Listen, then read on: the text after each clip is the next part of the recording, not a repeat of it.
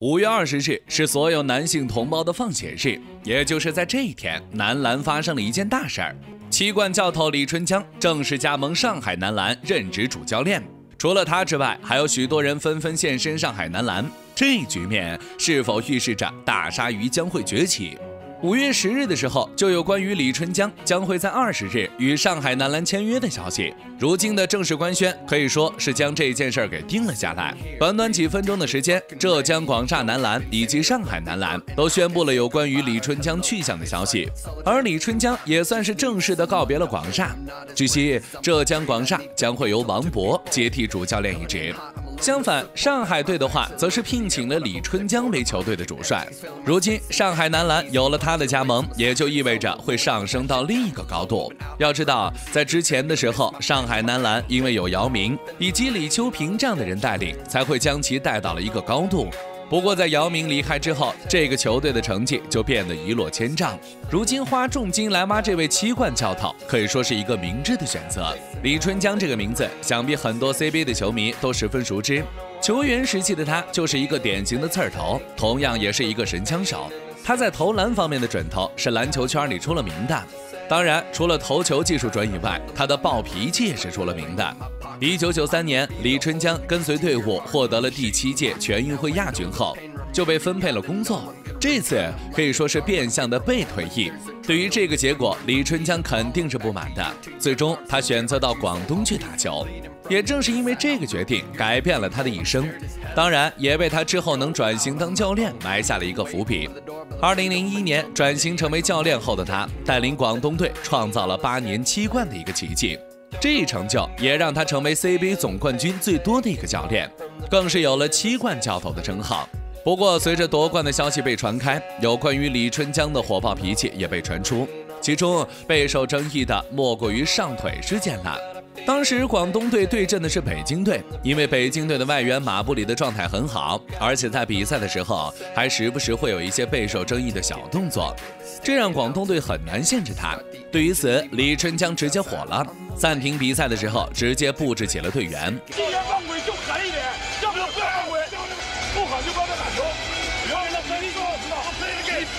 也吹你，狠也吹你，为什么不狠？帮着马布里站上脚，他们站上脚就收，懂了吗？你上篮，先上脚，快，上篮，不要上球，听懂吗？上去干他们，不要用手，直接给我上腿。你们懂不懂？懂不懂？之后，因为马布里的踢人动作太过分，可是裁判也没有及时去制止。李春江在暂停后直接怒吼队员：“不狠也吹你，狠也吹你，为什么不狠？不狠就不要再打球。”马布里再上腿，就给我掀翻他。可见我们的七冠教头的脾气有多火爆。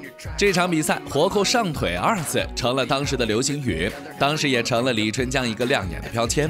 如今李春江来了上海男篮，是否能够带领他们走向巅峰呢？其实从球队整体的一个气场来讲的话，上海男篮还是需要李春江这样一个火爆的人来注入一些血性。上个赛季的大鲨鱼给人的感觉缺少了一些斗志，这也就是为什么在很多情况下他们都是大幅度领先的状态却被翻盘的原因。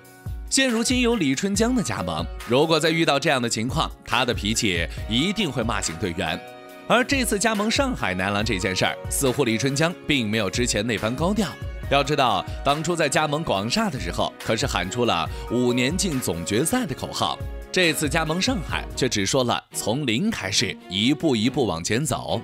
看来这次李春江是想要求稳啊！再加上李春江的加盟，让上海的球队教练组以及球员方面都有着不小的变动。教练组这边的话，杰军和王学利都跟着李春江去了上海队。而且据说李秋平也会回归，继续担任顾问一职。还有就是辽宁队的投篮教练卢伟也会回到上海队。再说球员方面吧，广厦的三个核心球员胡金秋、孙明辉以及赵岩浩这三个人的合约快到期了。据悉，赵岩浩以及胡金秋或许会继续续约，而孙明辉却没有传出任何关于他将会续约的一个消息。所以很多人都在猜测他是不是去意已决。更是有人猜测，或许他会跟随李春江去上海队。不过他究竟会怎样选择，我们谁都不清楚，只有当事人自己清楚了。其他球员的话，其实周琦或许会加盟上海队。要知道，周琦一定是想要加盟辽宁队，与郭艾伦等人并肩作战的。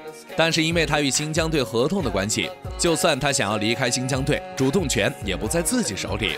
因为新疆队享有他合同独家签约权，也就是说，如果新疆队在休赛季的话给周琦提供一份顶薪的合同的话，那么周琦就必须要留在新疆队，没有任何拒绝的余地。